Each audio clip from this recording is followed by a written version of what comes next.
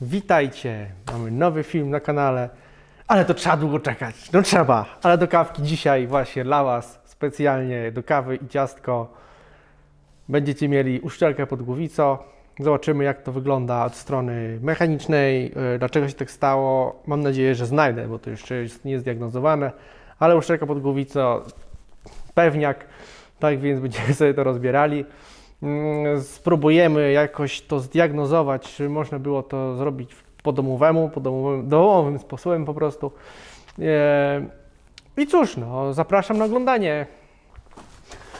Dobrze, ale właściwie jak rozpoznać, czy to jest uszczelka pod głowicą, czy to jest po prostu coś innego. No jeżeli ucieka nam płyn e, chłodzący z zbiorniczka, gotuje nam się ten płyn, podwyższono temperaturę w silniku, to już jest jakaś oznaka tego. Oczywiście może to być różnych innych przyczyn, dlatego to trzeba dobrze zdiagnozować.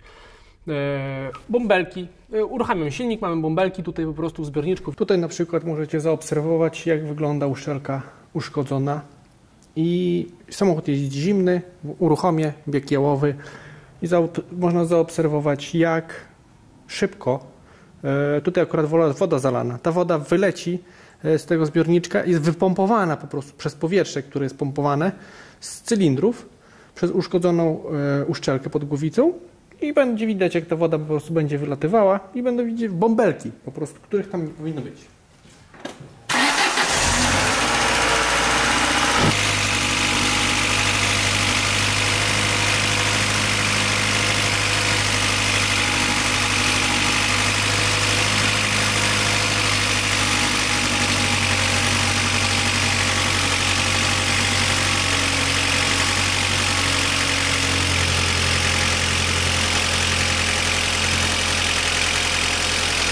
Widać taflę e, płynu e, chłodzącego i te bąbelki na wolnych obrotach oczywiście silnik pracuje i mamy tutaj bąbelki, bąbluje sobie, a na przykład temperatura silnika mam 90. Ewidentnie po prostu jest e, ewidentna ewidentność i ta uszczelka jest uszkodzona, ponieważ nie powinno być bąbelków. Bąbelki skądś się biorą, te powietrze coś musi pompować, pompuje to tłok. E, co dalej? No oczywiście takie rzeczy, jak mamy tutaj właśnie e, masło lub majonez, e, który jest na pewno bardzo pożywny i smaczny, które się osadza. Oczywiście w okresie zimowym nie ma się co tym sugerować za bardzo, ponieważ takie coś może występować i wcale nie jest to uszczelka pod głowicą, po prostu jest to takie naturalne, naturalne występowanie, naturalne osadzanie się wody w okolicach właśnie tutaj, gdzie jest najwyżej, ponieważ ta woda paruje z tego silnika, e, jest zimno, jest zimno, raz ciepło w okresie właśnie takim zimowym, jesiennym e, i ta woda musi gdzieś się skraplać, gdzieś paruje. Czasami właśnie jeżeli jest niesprawna odma i te e, wszystkie przewody odpowietrzające silnik, może się występować właśnie coś takiego. Nawet jeżeli jest to sprawne, może oczywiście takie coś występować.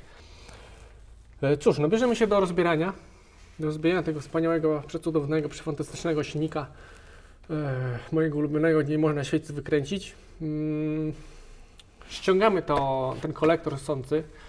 Oczywiście od tego trzeba zacząć. No można dojść do tego, ale po co? Tak musimy to rozebrać. E, mamy tu jeszcze super gaz za, za, zamontowany. E, musimy to rozebrać i, i, jakoś tam dojść do tego. Ściągamy te plastiki, odkręcamy tutaj sobie te śruby. E, Kręcamy sobie tutaj śrubę od kolektora, kręcamy sobie z tyłu, to wszystko ściągniemy, te wszystkie przewody, bra, bra, bra. E, nie będę tego pokazywał, bo to nie jest jakiś tutorial rozbierania silnika. Zrobimy sobie timelapsa mm, z takiej tam kamery budżetowej, ale coś będzie widać.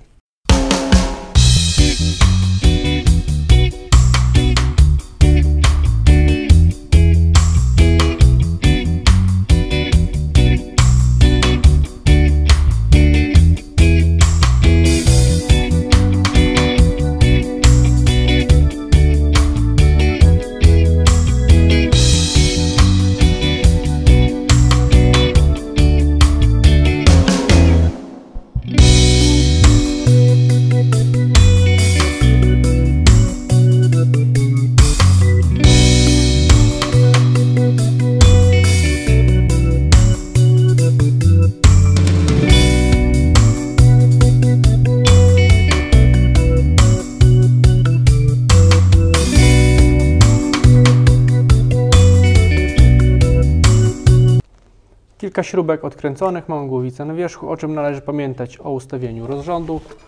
To w internecie w każdy samochód praktycznie jest, e, nie ma problemu. Tutaj jest bardzo prosty. I odkręcenie głowicy samej, mm, na sam koniec oczywiście zostawiacie. Odkręcamy od zewnątrz do środka, czyli odkręcamy po pół większe pół obrotu e, szpilki od zewnątrz i kierujemy się ku środkowi i następne pół obrotu i następne, aż się całkowicie zluzują i wtedy wybieramy, ściągamy głowicę i szukamy przyczyny. Przyczyną tutaj jest e, nierówna płaszczyzna bloku cylindrów.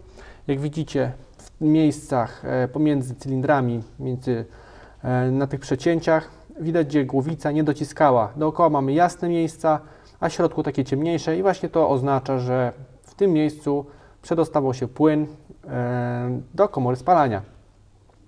Sam miejsce, gdzie jest tłok jaśniejszy, również stwierdzić można, że w tym miejscu ten E, płyn się dostawał, ponieważ po prostu omywał ten tłok i był, jest, jest, jest jaśniejszy.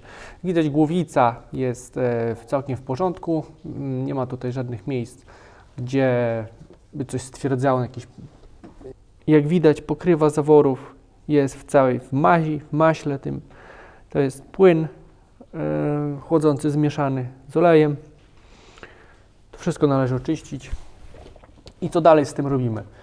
Dalej niestety trzeba wymontować cały blok silnika, więc e, cały silnik trzeba wybrać, wymontować ze skrzyniobiegów, z całym osprzętem. Osprzęt można zostawić jeszcze gdzieś jakąś elektrykę, to wszystko trzeba pościągać i wybrać cały silnik, zdemontować skrzyniobiegów, zdemontować osprzęt dookoła, aby można było po prostu założyć na maszynę i splanować tą płaszczyznę. Żadne tam branie klocka płaskiego i szlifowanie tego E, papierem ściernym, odpuśćcie, nie róbcie tego. Same ściąganie e, i wybieranie silnika, no to odkręcamy wszystkie przewody, jak mówiłem już. E, też nie ma żadnej tej filozofii. To trzeba mieć tylko albo podnośnik, albo coś, żeby wyciągnąć ten silnik do dołu lub do góry. Najłatwiej jest do dołu w tym przypadku wyciągać. Nie ma z tym problemu. Tak więc my wybieramy silnik i do zobaczenia. Mam wybrane już wszystko dookoła porozbierane. E, wszystkie cacki. Tu jeszcze zostało e, mocowanie filtra oleju. Tak więc to wybiorę. Rozbieramy wszystko i na czym, o czym należy pamiętać e, na, na czopach, na mocowaniu głównym od wału są numerki 1, 2, 3, 4, 5. Pierwszy numerek jest najczęściej od rozrządu i jeżeli nie ma na stopkach korpowodów, to trzeba takie po prostu numerki sobie nabić. Ja sobie nabiłem, e, zaraz pokażę to, czy mi się uda. Ok, tutaj mniej więcej widać, jest jedyneczka. To jedyneczkę sobie nabiłem i na każdym następnym jest, tu jest dwójeczka, e, tu jest trójeczka. Ok, e, chciałem coś jeszcze powiedzieć, że no wybieramy ten wał, e, ponieważ trzeba to wszystko później umyć, ale jeszcze jedna sprawa, przez to, że E, leciał tu wszędzie, czyli leciał, dostało się do oleju e, płyn, to zrobię taką breję, straszną breję. Zaraz pokażę Wam jak Ok, zobaczcie, to jest olej. On jest jak plastlina po prostu. On się trzyma. Jest, jest super gęsty, można powiedzieć. Więc to po prostu wszystko jest do czyszczenia. Zobaczcie jak brudna, zanieczyszczona jest w środku głowica. Olej był zmieniany często właśnie przez to, że ten płyn chłodzący dostawał się do tego oleju. No z poradnika wymiany uszczelki pod głowicą robi się już przygoda. E, znalazłem e, drugą przyczynę, a może zaczynającą się przyczynę, e, pęknięty cylinder. Widać na tym jednym z cylindrów jest pęknięcie i to już dyskwalifikuje cały blok.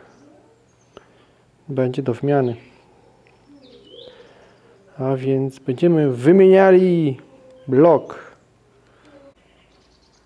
Tutaj mam drugi e, blok i no widać tutaj na przykład jest w tych miejscach e, głowica i uszczelka ładnie przylegała. Mam tutaj drugi niepęknięty.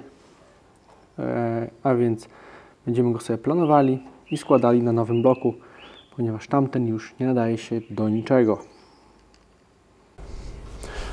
A więc przechodzimy do sedna materiału, czyli wymiana uszczelki pod głowicą, e, z czego wyszło to, co wyszło, e, w sumie cały remont silnika. A więc co zrobimy, gdy mamy tylko tą uszczelkę do wymiany? Sam blok mamy w porządku. Wyczyścimy ten blok, tak jak w ten sposób mamy czyszczony. E, tutaj mamy nieplanowany, ponieważ jest równy i nie ma sensu planować. Planowana była jeszcze raz głowica z tego względu, że głowica się odkształciła na starym bloku i zrobiła się znowu krzywa. Mimo, że była wcześniej planowana. Więc e, po prostu jeszcze raz planowaliśmy e, i jest prosta. Blok jest prosty, mamy wszystko proste i będziemy zakładali. Czyścimy sobie to. Tu są takie kółeczki. W niektórych głowicach nie ma tych kołeczków, e, w niektórych są takie tutaj tulejeczki i to zostawiamy, to musi być.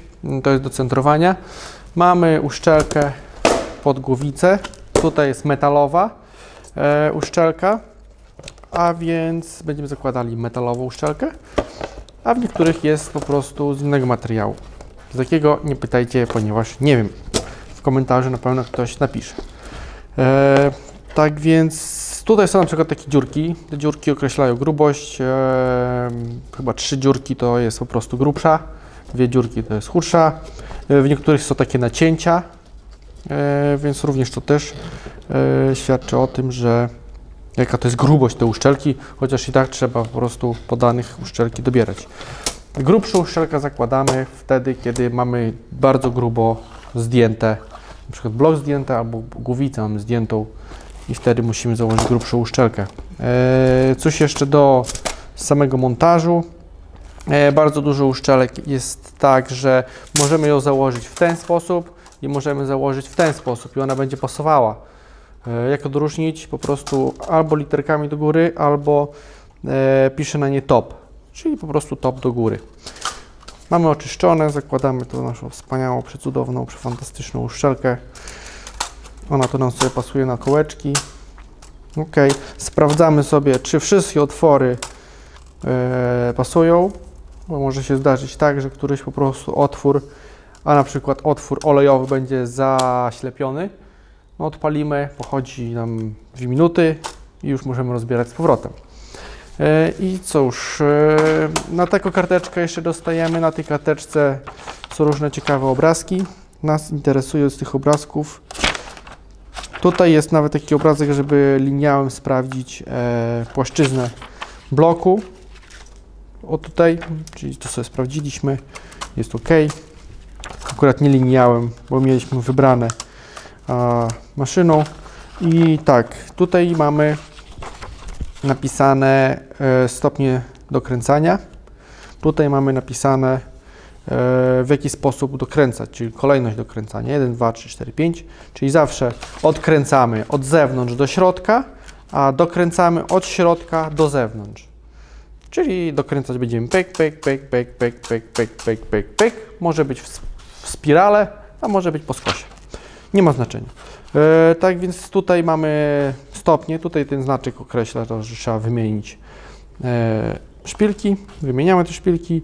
No i pierwszy stopień to jest 20 Nm, drugi stopień to jest 40 Nm i dwa razy po 90 stopni. Czyli po prostu pierwszą szpilkę 20 Nm i tak po kolei wszystkie po 20 Nm, później 40 Nm każdą szpilkę i 90 stopni wszystko i jeszcze raz 90 stopni wszystko dokręcamy, skręcamy, odpalamy i jedziemy. O, tak to ma wyglądać. Super. E, no i dobra. I to cały filozofia wymiany. Reszta to jest po prostu skręcanie. Jeżeli jest, będziemy skręcali, mamy rozpięty rozrząd, będziemy, mamy zdjęty wałek, yy, dobrze jest po prostu tłoki ustawić w ten sposób, żeby tłok któryś na przykład nie był yy, w górze, bo może być taki, tak, tak, taki przypadek, że będziecie mieli tłoki na przykład te w górze, będziecie zakładali wałek, będziecie skręcali ten wałek, nie zwrócicie uwagi, w którym ten wałek jest w położeniu, miejscu, będziecie go dokręcać i zawór się zacznie wciskać akurat w tym tłoku, który jest do góry może być tak, że będzie zgięty, nie? Więc lepiej sobie ustalić po prostu tłoki w ten sposób, przykręcić sobie wałek i wtedy dopiero ustawić rozrząd, wtedy mniejsze prawdopodobieństwo jest tego, że e, uszkodzicie któryś zawór przy samym dokręcaniu wałka. No więc takich rzeczy tu no i zapraszam do reszty składania tego cuda, przycuda. Zobaczcie, jak wyglądają popychacze zaworowe, które pracowały w towarzystwie płynu do chłodzenia. No to już nie jest do oczyszczenia, to próbowałem wyczyścić, nie ma opcji, nie? Yy, tak wygląda czysty, nowy. Więc one nie będą pracowały, już trzeba je wymienić. Ok, wymieniamy te, yy, te popychacze.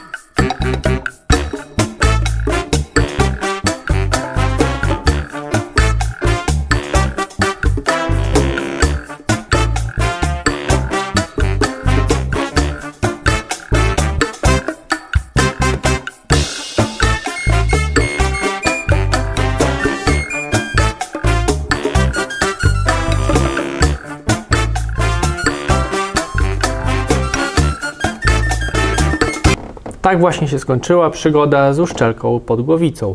Wszystko mamy złożone e, i już odpalone, wszystko działa, się wszystko jest w porządku, tylko teraz tak, parę niedopowiedzeń w sumie e, po materiale zauważyłem dopiero później przy montażu uszczelki pod głowicą. Jak będziecie robić to na samochodzie, to trzeba wydmuchać e, otwory gdzie wchodzą szpilki, gdzie są przykręcane, ponieważ tam bardzo często jest olej i płyn e, chłodzący, więc po prostu tam trzeba wydmuchać to. E, to tego nie zrobiłem, ponieważ ja miałem wszystko wybrane. Wy będziecie prawdopodobnie mieli na silnik przykręcony tutaj do samochodu i to może być problem, ponieważ ten olej nie jest ściśliwy i jak będzie ten olej w tych komorach, to skręcając szpilkę możecie coś uszkodzić, rozsadzić lub w ogóle ta szpilka nie będzie dokręcona. E, a później będzie temperatura, dojdzie, ten olej zacznie tutaj mm, pracować i może w ogóle to się odkręcić. Tak więc to z takich rzeczy. Mm, cóż jeszcze mógłbym powiedzieć? No nic, po prostu składacie, zalewacie płyn, wymieniacie oczywiście olej, wymieniacie. Nie ma innej opcji. Olej zawsze wymieniacie przy takich opcjach. E, filtr oczywiście oleju.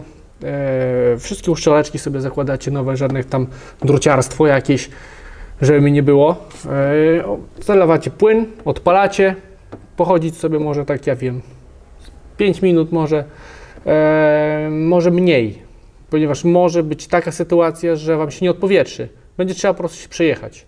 Polacie na przykład, tam niech pochodzi 3 minuty i się kawałek przejechać tam do 3,5 tysiąca, do 4 tysięcy obrotów, e, zmieniać biegi sobie spokojnie, przejechać się, wrócić, ten samochód zagrzeje się, odpowietrzy mm, i wszystko. I możecie sobie jechać dalej i macie wymienioną uszczelkę pod głowicę. E, tak jak widziałem, pilnować, tak jak mówiłem, pilnować e, tego, aby, aby tutaj się w tym korku nie zbierało zbyt dużo e, zbyt dużo tego masła. Tutaj wilgoci już na trochę jest, no ale to jest normalne w tym e, przypadku, to już jest woda, ale to nie jest róż, różowe, tak jak wtedy płyn to był e, różowy. E, I po prostu pilnujmy tego. Jak to pilnujecie, to nie będzie trzeba może robić takich opcji, jak tutaj z głupiej wymiany uszczelki pod głowicą wyszło, że cały trzeba remontować silnik. E, I cały trzeba, wszystko było trzeba wymieniać praktycznie, no oprócz tam panewek i, i innych tam rzeczy, ale trochę roboty było. E, I wszystko. Tak więc ja ze swojej strony dziękuję za oglądanie. Jeżeli jakieś tam macie pytania, to wszystko na dole możecie pisać. E, na Facebooku piszcie, na maila piszcie i coś tam odpowiem. Mm, I dokręcić następny film. Naprawdę. Dobra, do zobaczenia.